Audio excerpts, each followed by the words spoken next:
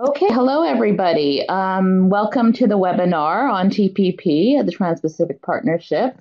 Um, we're doing this webinar because just so that we can actually know, um, we have consultations coming up with the International Trade Committee, and it's really important for us to get our facts and arguments together so that we can be really effective in trying to defeat this. So um, we at the Council of Canadians have invited Hadrian Mertins Kirkwood, and he is a researcher at the Canadian Center for Policy Alternatives, where he works on international trade and climate change policy. Um, he's written a lot of work um, on the free trade agreements, including the Trans Pacific Partnership and CETA, which we all know and hate. Um, and his work, he's really um, focused on Canada's migrant worker regime. And he's actually uh, working on a SSHRC funded project on Canadian climate po- um, change policy at the federal and provincial level. And he's looking at the intersections between trade and the environment. He has an MA in political economy from Carleton University, and his major research project was a critical analysis of the TPP. He's here in Ottawa. Um, we're going to also ask that people hold off on their questions until after the um, the seminar. So we're going to have him do the seminar, and then we're going to have questions. And then afterwards, we're going to start trying to discuss, you know, what some of the things we can do for the consultations. So without further without further ado, okay, Hadrian, take it away. All right, great. Thank you very much. Um, I'm really excited to have this opportunity. I think it's it's great that um, for us as researchers, we spend a lot of time kind of in the weeds of these deals, and uh, we don't always feel like we have an audience for that. And, and on, you know, it's great that we get to meet up with people who are on the front lines of, of this debate and, and of this, um, you know, this challenge to the TPP, who don't necessarily have the time um, and ability to go through through these deals in the depth that we do. So it's really great that we have these sort of these events um, to bring to bring everyone together. Um, yeah, I mean, ideally, this would be a very, if we were in a room together, I'd take questions as we go, but that's going to be kind of tough given this format. So, I mean, you can type clarification questions and I'll try to notice them. Um, if I miss them, then uh, Sujata can, can flag, flag me down and, and I can try and address those. Otherwise, we'll have um, hopefully half an hour at the end, at least 20 minutes to, um, to talk about, um, to talk about clarification and details in the presentation and, and then also more broadly, um, strategic questions about the consultations moving forward. So we've got um, a kind of a, a big agenda here, but we're going to be looking and talking about a lot of issues in a little bit of detail, and and then if we want to go into more detail in the in the questions, we can do that.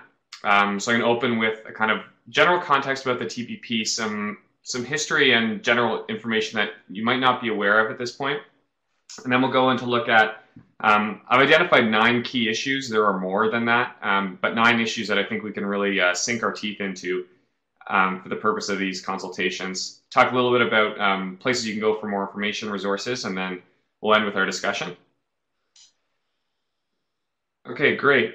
So firstly, what is the TPP? I think we all have a general sense in this crowd, but um, so we're all on the same page. As you know, it's the Trans-Pacific Partnership Agreement. Um, it is ostensibly a free trade agreement, and specifically it's a regional free trade agreement or plurilateral, um, which means it's not all countries like the WTO, and it's not just two countries um, like a like our bilateral investment treaties, but it's a select group, which is important because it's a very strange group of countries actually um, when you look at the 12 that are involved. Um, and I mentioned that it's it's hard for for campaigners and and citizens really to to dig into these deals. And part of the reason is the TPP is six thousand pages long when you include all the annexes. Uh, there's 30 chapters, and the 30 chapters are really not about trade for the most part. There's there's five or six chapters in there that address traditional trade issues, and the rest of them go well beyond to address um, what are called behind the border measures. And that includes environmental issues, labor issues, public services, state-owned enterprises, all kinds of, of stuff that um, most Canadians don't think of when you talk about free trade. Uh, and that's what this deal is really about. Um, the TPP is unprecedented in a lot of ways in that it, it, it goes um, further than ever in terms of the corporate rights that are included. But at the same time, it's not, um, it's not a radical departure from past deals. It really is built on the NAFTA model. Um, that's on purpose. It's a U.S.-led agreement. Um, they call it. It's been called by um, advocates the sort of NAFTA of the Pacific, and then by critics, it's been called NAFTA on steroids. But I think everyone agrees that uh, this is based on NAFTA, and it just goes further further than NAFTA in just about every way. Um, the TPP is also very similar to CETA, uh, which is important because the government has said there's potential issues in the TPP we should consult, but CETA is a done deal. It's the gold standard. But from our perspective, they're very similar, um, and, and they have basically the same issues uh, in both CETA and TPP. So although we're not talking about CETA today, um, that's something to be aware of. It's not like these are two totally different things. They're, they're basically the same deal with a different partner. Uh, like I mentioned, it's a, it's a diverse and strange membership. I'll show a map in a second. Uh, it's also important to note that this is not um, a closed group.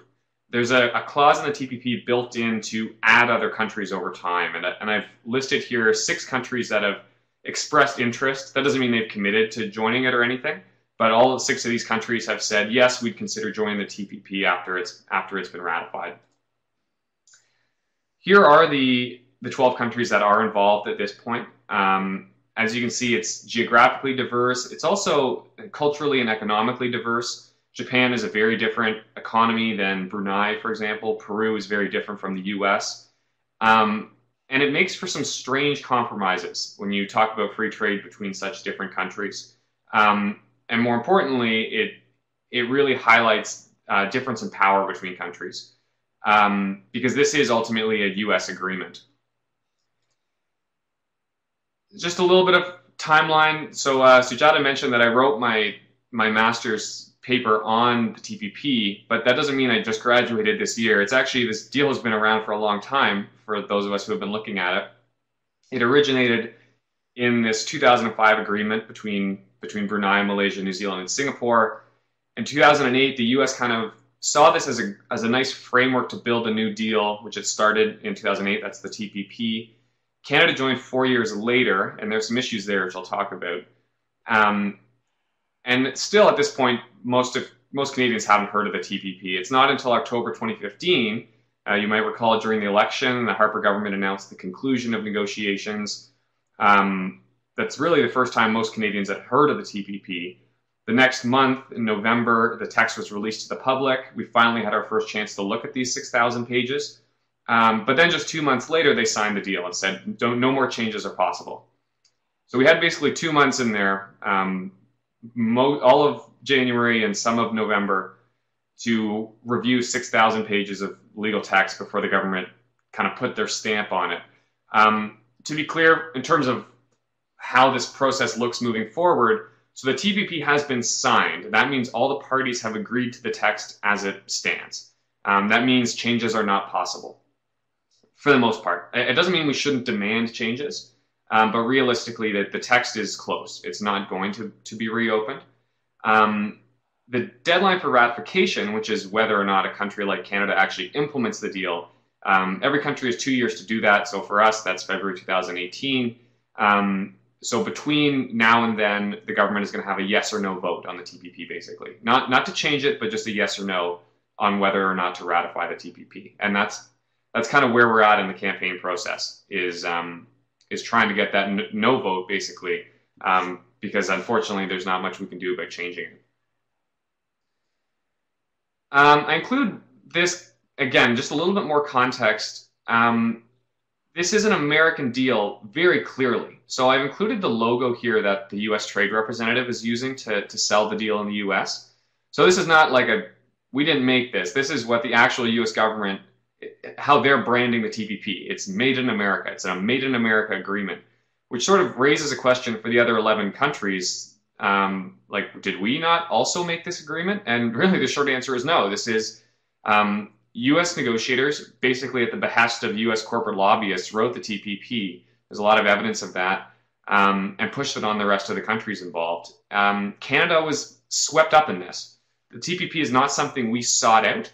Uh, it was something that we were afraid of missing out on. And the Harper government was like, we should probably be in on this if the U.S. is doing it. Um, but this was not a what we call an offensive negotiation. which is when the Canadian government is trying to get something from other countries, it was very defensive. It was we went in to not be left out, um, to not be screwed too badly. Um, that was our approach to these, this this negotiation, and that's sort of reflects the outcome as well.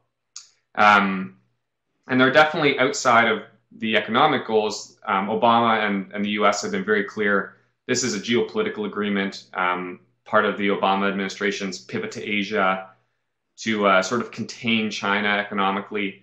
Um, and they've been very explicit about this. Um, they've been clear that it's about much more than just economic growth or whatever else free trade advocates say. There's U.S. geopolitical goals at, at play here. And uh, my last bit of context, I, I, outlined the timeline for negotiations, but a few things I want to highlight. One, again, Canada entered this deal sight unseen, which is to say that in 2012, there, it was four years into negotiations. The Canadian government said, please let us in. And the US said, okay, you can join the negotiations, but you can't look at what we've negotiated first, and you can't change any of that once you get here. You have to accept everything that's been established so far, and you can only negotiate what's, what's left over. And the Canadian government said, sure. So we, we joined and couldn't change anything that had already been negotiated. Um, once we were there, it was negotiated behind closed doors um, which is to say there was very little, if any, civil society involvement. Um, there was very little parliamentary involvement. Most MPs couldn't actually um, view the text in any way. And yet there was strong influence from corporate lobbyists. I've got some great quotes in a second. Um, another issue, it was concluded by a caretaker government. So after the, uh, the writ had been dropped, as they say, um, the Harper government said, yep, we, we put the, the final touches on this deal and concluded it. Um, there's some questions about whether that's actually constitutional, although I don't know that that's a really going to be a productive sort of line of criticism at this point, but there, there are questions there. And, and then the new government, even though they had just started the consultation process, which as you know is ongoing, signed the deal anyway. Um, and they've got Chrystia Freeland, our new trade minister, saying there, um, you know, it's too soon to endorse the TPP. It's also too soon to say no and that's that kind of like sounding cautiousness is going to be a, a common theme, um, I think, moving forward. It, it's very clear to us from what we're hearing from government and, and, from the kind of statements they're making that they very much intend to to push this deal through. Um, speaking in the U.S. Uh, a couple weeks ago, uh, Trudeau said that the consultation process was an opportunity to um, allay concerns from Canadians which is very different from trying to hear and respond to concerns. Um, so we, we, can't we can't let them get away with with making this a formality, this consultation process. Um, we really do need to push push it a little bit here and, and not let them just get by with a a sort of I don't know meaningless consultation process. And uh, yeah, I mentioned a couple great quotes. I don't have to read this whole thing, but this came a couple months ago at um, committee testimony on the TPP, and Perrin Beatty from Business Council of Canada, that's formerly the Canadian Council of Chief Executives, was very clear when asked this question. It was like, yeah, we met with negotiators periodically, as many as 10 times. They responded to our questions. We were in touch from time to time with the minister. Um, we were kept apprised broadly of the direction in which things were going, which is was even though we knew this, we already knew that business groups were involved it was still shocking to hear them be so upfront about like, yes, we were happy with um, with access we had. Again, here's another one: Canadian Manufacturers and Exporters, big lobby group for for for major uh, industry. Uh, we felt well consulted, uh, invited to sessions by ministers and officials, lots of opportunity. We were fairly included. And you know, we saw this at the CCPA, and and, and you know, we've been working on these trade issues for decades. Not necessarily me personally, but as an organization, and we barely talked to government once in, in the 10 years that, that Harper was in power. Um, we just weren't really, uh, they didn't want us to have a seat at the table in any, in any meaningful way. And, and to hear these business groups say, yeah, we had great access to negotiators was a bit of a slap in the face, but I mean, it reflects that negotiating process.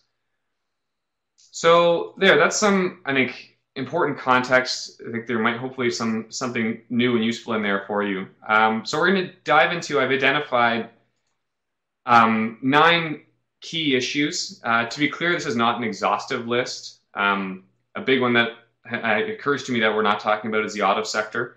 Um, but if people want to know a bit more, we can talk about that in questions.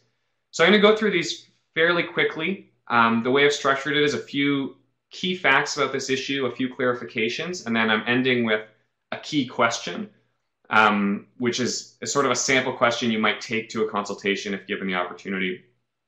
So we'll start with investor state dispute settlement. This is the probably highest profile issue in the TPP and other deals uh, for good reason. And it's really, we can't hammer on this point enough. Um, the fact that this, it's what we call a quasi judicial process, which means it looks like a legal process, but it's not part of the legal system. And it's for investors to dispute violations of a state's obligation under the terms of an FTA. So um, if a state doesn't uphold its investment commitments in the TPP, it allows a, a investor, foreign investor, not a domestic investor, but a foreign investor to challenge that violation uh, and claim compensation for it. Uh, importantly, this decision is made by a tribunal of for-profit arbitrators. This is, I mean, this whole system is what Gus Van Harten, he's an investment expert, is, he calls it a very corrupt process. There's no civil society involvement, no appeals process. Um, the arbitrators in one case are the um, the lawyers in another in a, a different case. They get paid a huge amount of money, so there's a huge incentive to have more of these cases and to rule in favor of business. So the process is is really problematic. Um, investors can claim compensation for lost future profits. We're seeing that in the Keystone XL case right now, um, where they're they're claiming compensation for the money they would have made had Keystone been approved, uh, which is very different from just getting compensation for the money you've invested so far. And the Keystone case is a great one of how ISDS and NAFTA has been used to challenge public health and environmental measures. There are a lot of cases. Um, we've written um, reports about this specifically, uh, Canada's experience under NAFTA, uh, governments uh, overturning public health measures, paying a compensation to investors because of uh, because of the investment rules in NAFTA, which are basically reproduced in the TPP.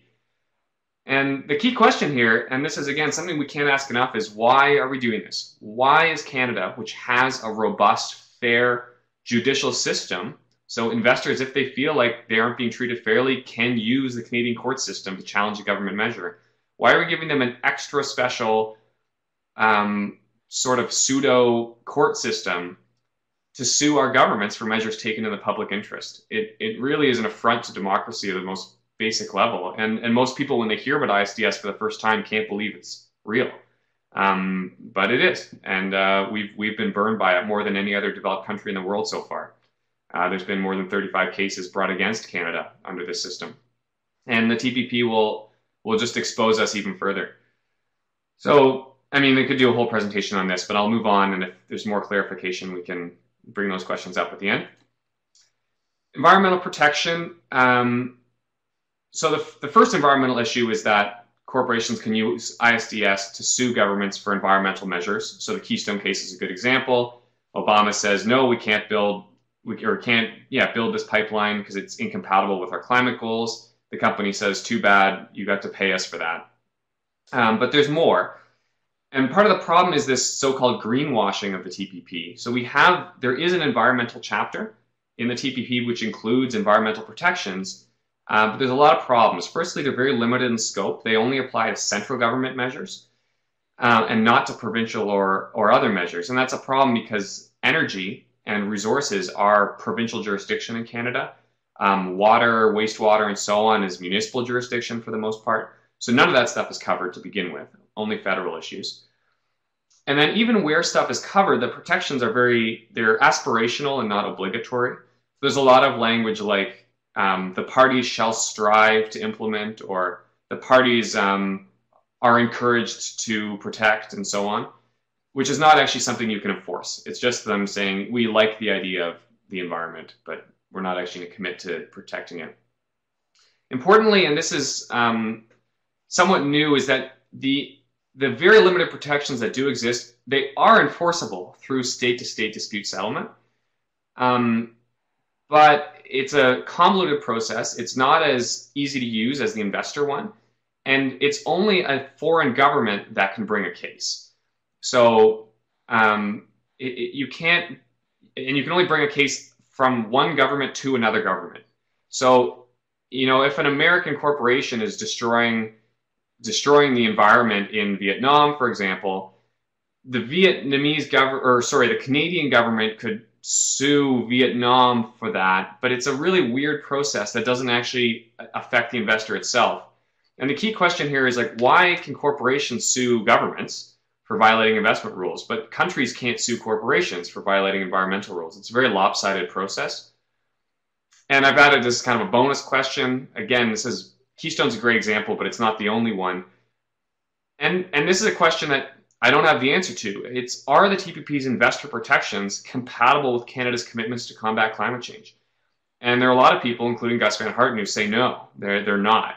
If we're going to uphold investor protections, we can't uphold rights for the environment. We can't implement sort of subsidies and, and preferential treatment for um, alternative energy because that's that's a, a protectionist measure. So there are a lot of very open and concerning questions about the compatibility of climate change action and, and investor protection in these trade agreements.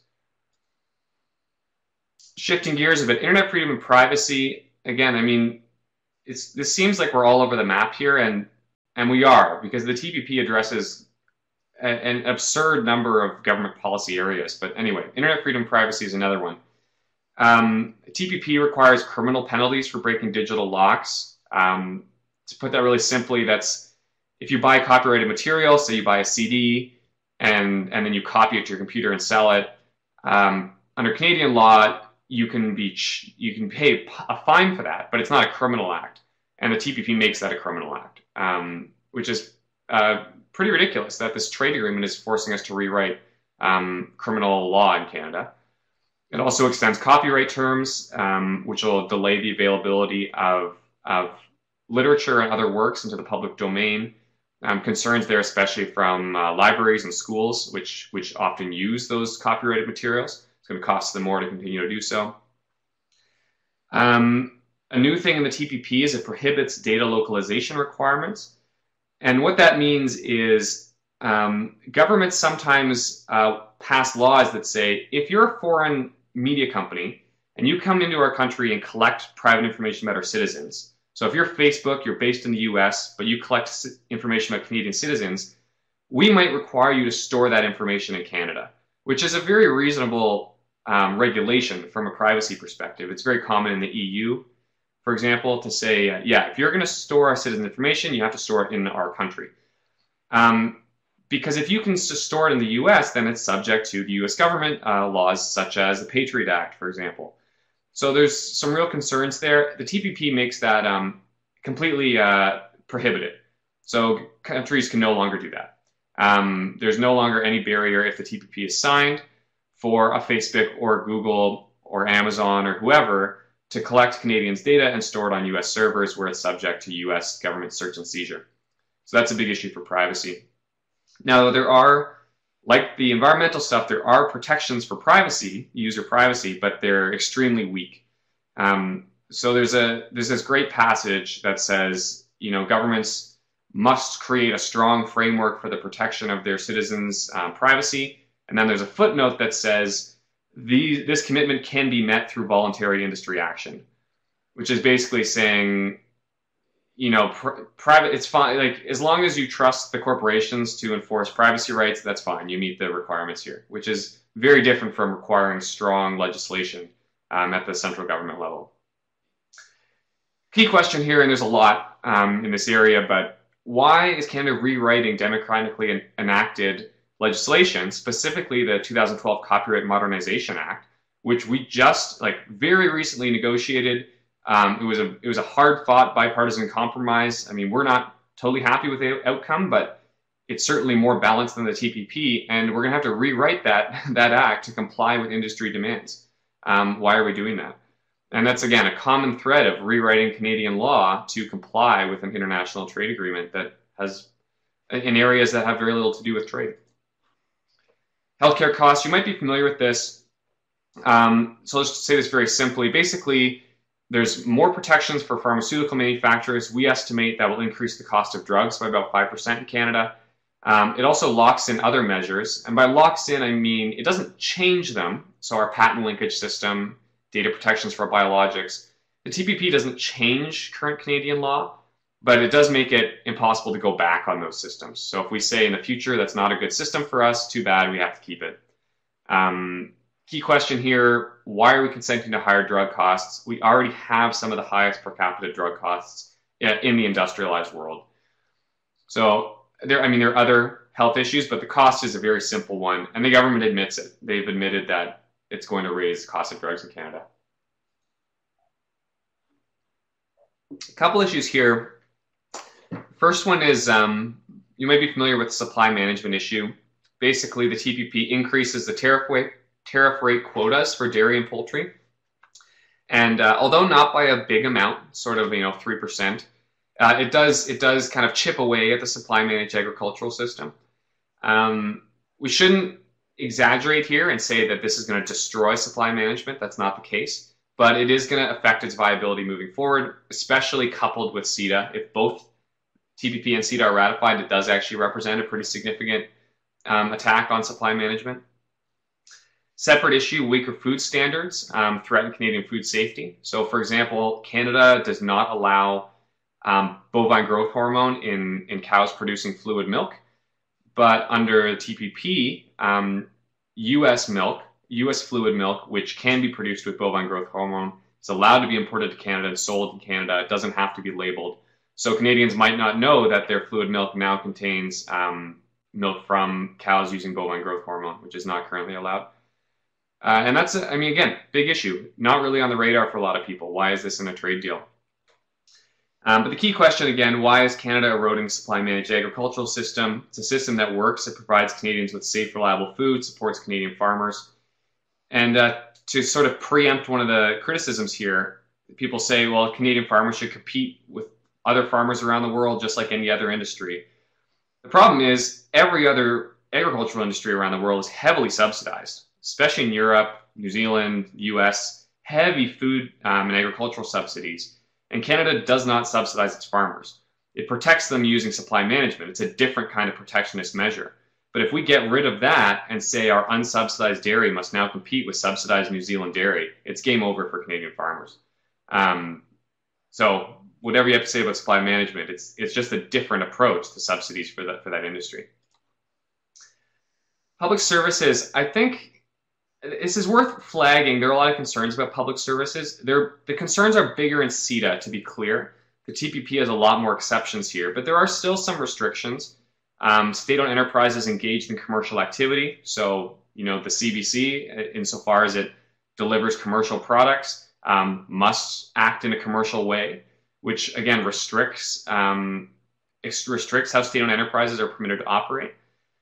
Uh, there are exceptions again for CBC. So it's hard to make any, you know, cut and dry statements about public services. The, the bigger issue for public services is not how it affects um, Canadian public services right now. Um, it's that it affects it in the future. So it's got this so-called standstill and ratchet clause, which basically says the current level of privatization in Canada is locked in. And if you privatize any further, you can't go backwards. So if Canada decides like, let's give it a shot, let's privatize the CBC, and then decides after two years like, wow, that was a bad decision, we should go back to public control of this broadcaster. You can't do that. That's what the ratchet clause means. You can only move in one direction. Um, so that's the biggest concern, and it's it's coupled with this negative list approach, which says you can res- exempt you can exempt public services, but you have to name them all right now. And that means like we we don't know what public services we might need in 10 years or 20 years. Uh, but since we didn't list them right now, we can never create them in the future. It's it's this crazy, permanent, um, far-reaching approach that we might not notice in the short term, but we'll certainly notice in the long term as we try to create new or expand old public services. So, key question: Why aren't public services fully protected? Um, not only now against the TPP's generous investor protections, but also into the future because this negative list applies forever.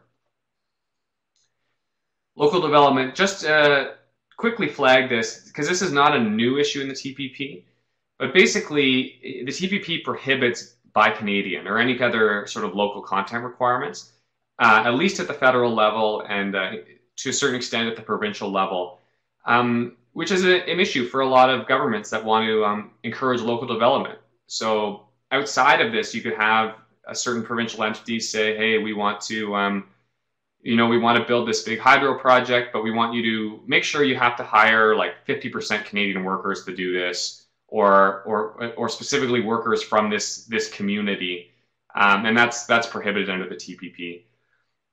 Uh, and there are again there are exceptions here, but we don't think they're strong enough um, and far-reaching enough. Uh, it will affect how governments spend their money to a certain extent, um, which will again affect local development initiatives key question why did we sacrifice the right to do this? Um, it's an important local development tool. To be clear, this restriction again already exists under NAFTA, already exists under the WTO. The TPP just expands it to more, more provincial entities, more federal entities. So it continues to chip away at, at this local development tool of uh, Canadian. And I've got, we're almost through all the key issues. Um, labor and migrant workers. The first is like the environment chapter, uh, there is a labor rights chapter in the TPP. Like the environment chapter, it's basically aspirational and not actually enforceable. Um, the, the, Canadian Labour Congress has been very vocal about this. It, it, sounds good, the TPP labor chapter, doesn't really have a lot of substance. We have a lot of concerns. Uh, like the environment chapter, it's only enforceable through state to state dispute. So that means that um, if again Vietnam fails to uphold its rights uh, in the in the deal, if it's uh, sorry, if Vietnam fails to uphold labor rights as it signs up to in the TPP, those workers can't actually dispute it, and civil society groups in Canada can't actually dispute it. It would have to be the Canadian government going to the Vietnamese government and saying you need to enforce these rights better. So it's a it's a problematic indirect system that's not at all comparable to the investor rights where investors don't have to wait for their government to get involved. They can directly sue a government. So it's very unbalanced. And a separate issue here is the, uh, the so-called temporary entry. Um, this is the area that I, I personally work in um, and have done a lot of research on. And the TPP is, is similar to NAFTA in that it allows certain kinds of workers to enter Canada without an economic needs test. Um, the TPP expands those categories. So there's a greater, um, more diverse set of workers uh, and, a, and a more um, sort of easygoing standard for what, what qualifies as a business visitor.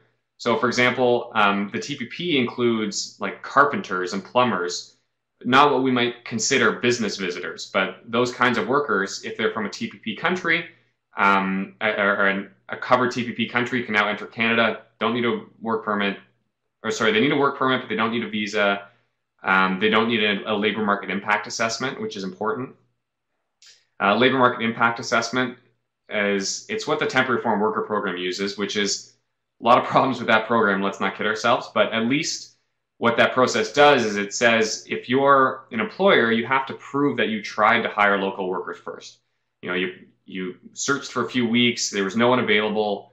Um, there's yeah, there's just not enough workers or qualified workers, so you had to hire someone internationally.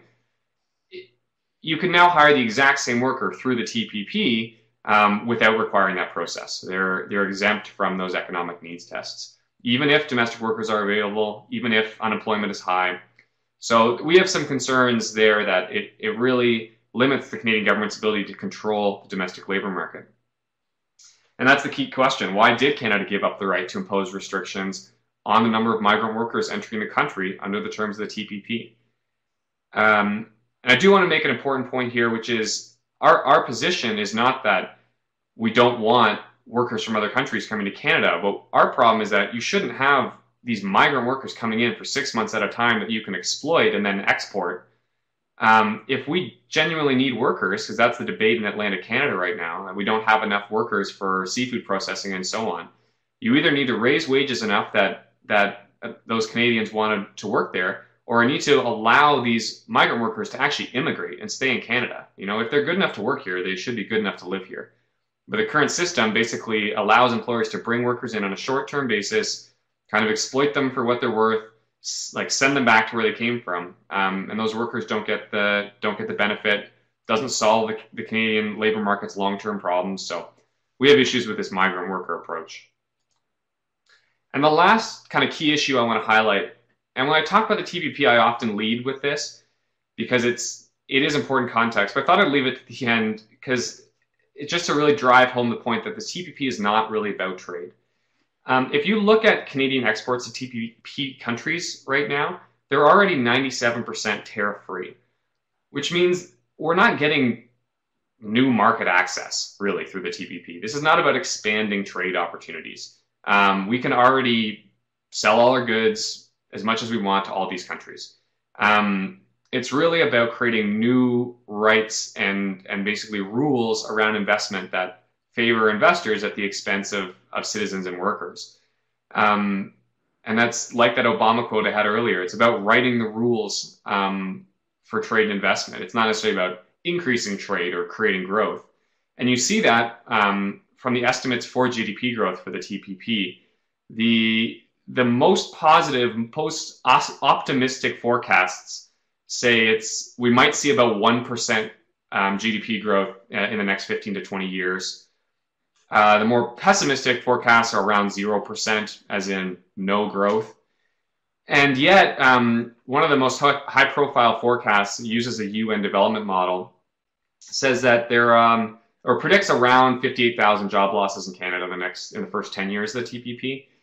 I mean, the, the specific number isn't important. Like 58,000 could be anything.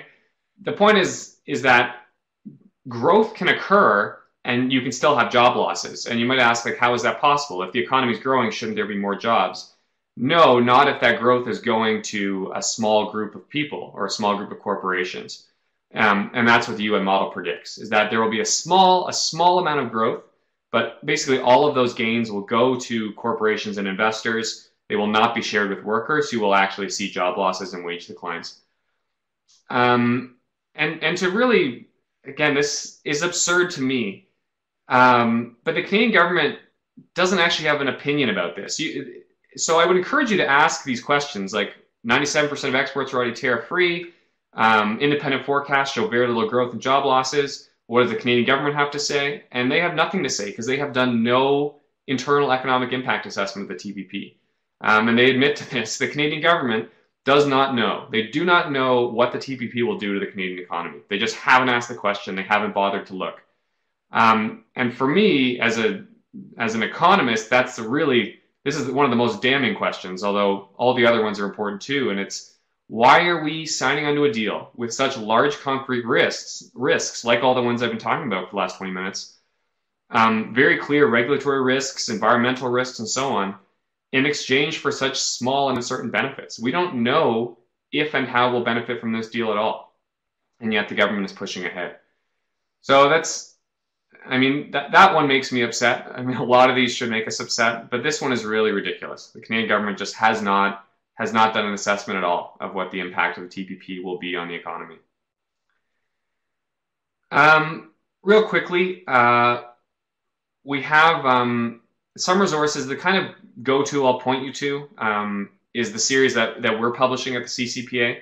So I'm not sure if you can click on these links, um, but hopefully if we we send this out, um, I can actually post this for you right now. Um, we're we're currently publishing a research series called "What's the Big Deal," where we look at each of these issues I've talked about in, in significantly more detail. Um, we have four four reports that have been published, two more coming out this week. We have about six or seven more on deck um, that look at these issues in much more detail than I've I've described today. A couple people to look to uh, look into. Gus Van Harten really is one of the foremost um, experts on on these investor protections. He, he works out of York University. Michael Geist works out of University of Ottawa. He's the expert on intellectual property and, and privacy issues. He's written extensively on the TPP. And then there are campaign groups that are doing a lot of great work. Council Canadians, of course, um, Open Media, focused more on, on the internet issues, but but on TPP generally. Lead Now is starting a campaign around the consultations. So there are people doing work on this, but not as much as we'd like. So anyway, that's why we're doing this What's the Big Deal series, trying to fill in the gaps from a research perspective. Um, but there, there are other resources out there too. And that brings us to um, a discussion. So I might ask Sujata to jump back in here. I'm not sure um, if you're going to moderate this or, or how we should do this, um, but I can start to take start to take questions um, by by text, I guess, um, unless uh, Sujata has a has a better idea here.